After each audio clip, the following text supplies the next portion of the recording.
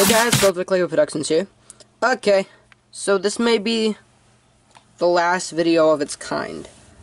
But here is, for the past three weeks, I've been doing this little mock here, if I turn the light this way, where I have finished the Bat Planes dock. There has to be a better way to do this. There we go. The Bat Planes dock. And I have uh, finished up some brickwork down here with the ocean as well, leading out to the cave. And there's a kryptonite storage container behind that computer screen.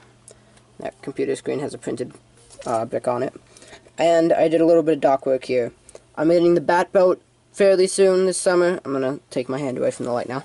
Um, getting a uh, bat boat fairly soon this summer.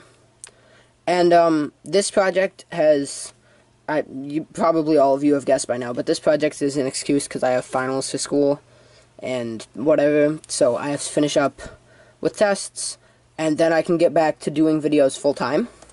But for right now, this is what I have been able to throw together just real quick so that I can keep, get back to schoolwork. But um, eventually, my next video, as I said last time, is going to be a Flash Figures video. And so I'm going to do that as soon as possible. But for right now, the only improvements made is a dock here that is brick built and attached. All of it, like if I move just this part, the entire thing moves. Like it moves down there if I move this part. Um, and water detailing runs opposite uh, the way the waves move. And same here. The bricks actually run both ways. The final work is pretty much done. I'm ready to film here whenever I feel like it. I can drop off some more vehicles back there by my lamp. And, uh, so yeah.